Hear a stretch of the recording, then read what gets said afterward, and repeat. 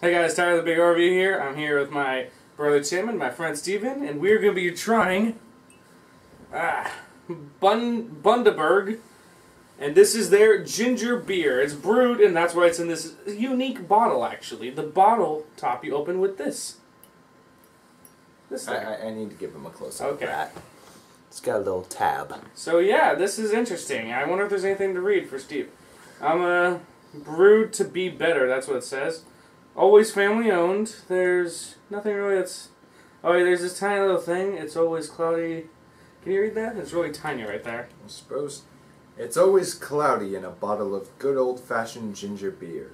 Hold this bottle to the light and you'll see it's full of real ginger pieces, traditionally brewed to a genuine old recipe to release the natural flavors of ginger.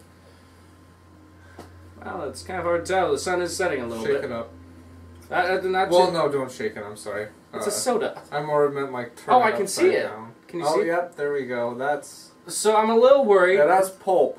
So I'm a little worried. For one, we had um a, we had a ginger ale a long time ago, Vernors, which did you can almost feel the spice in there, and that was really good. We all gave that at least sevens. And then But then we tried Nature for Nacho Frisk. yeah, and uh, that was really close, and also had propane in there, and that was awful. So let's hope that this nice. It, it, they said it's brewed, which is just how Vernors was.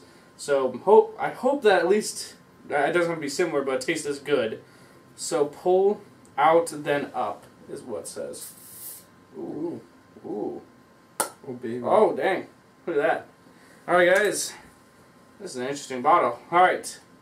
Bundaberg Brewed Ginger Beer. Wow, it's clear? Well, kind of. Yeah, it has I a mean, look. It kind of looks like ginger ale. Yeah. Light ginger ale. I'll give you some. I'll give you a little bit more. Well, it definitely smells of the ginger variety. Oh, wow. I'm, uh, Oh, boy, this smell. I'm worried because this kind of smells like Nature Frisk. It does kind of smell like nature frisk. Oh, great. Uh, well, let's do it. Bottom sideways, not as bad. Oh, Steven, are you okay? mm, So, the beginning taste is okay. It, it, has this different sweetness, but you taste the ginger and it's it's it's all right. Um, but then it gets the ending flavor. Just gets this kind of like very very sweet, and I do not like it. It's just too sweet.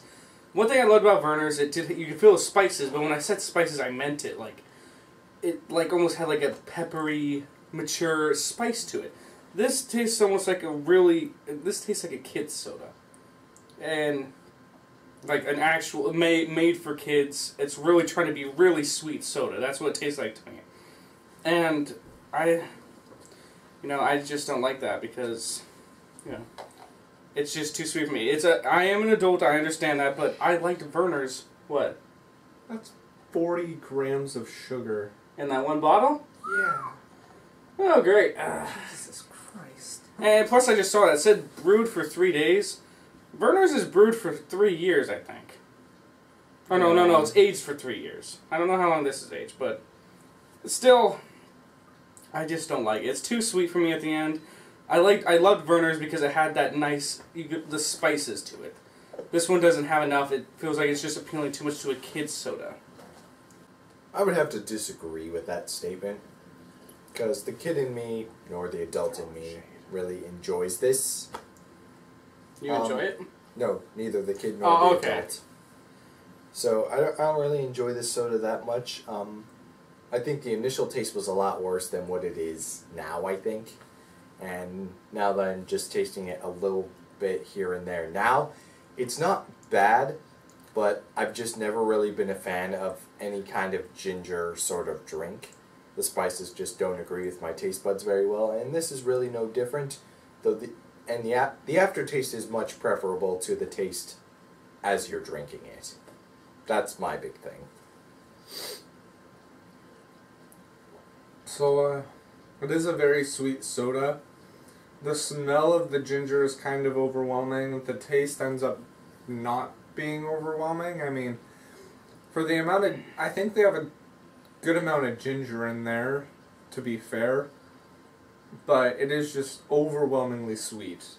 Uh, I'm I'm left with sweetness in my mouth that feels tangible, and that's just way too much. Uh, if they had cut the soda by like cut out a third of what they put in there, I think it could be a decent ginger beer.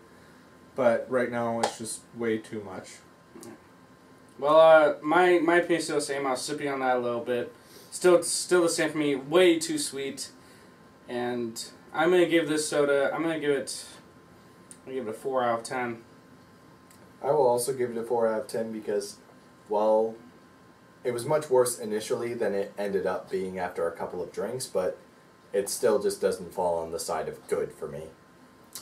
I'm giving it a 3.69 because the again, it's just the sweetness is way too overwhelming before and after the drink. Well, you guys, thanks so much for watching. I'm tired of the Big Review. Click on Steven to watch his movie review channel, The Detective Steve, and click on Tim for an interesting video. Again, thank you so much for watching.